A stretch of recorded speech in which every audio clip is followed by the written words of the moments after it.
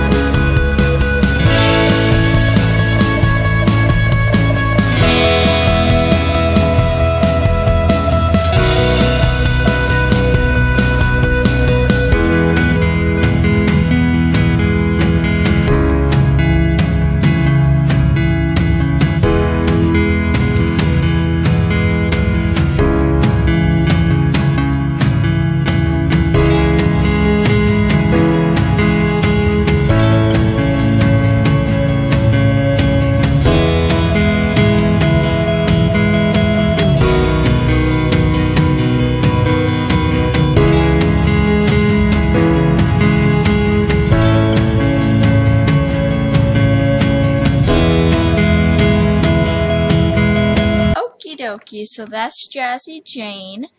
Um, she's got more of a business look in a lot of her outfits, uh, like her formal wear and her um, athletic wear, somewhat formal, sleepwears, and a lot of the other ones are more of a rock, black, or darker looks. Um, now I'm going to do Patricia Parrish.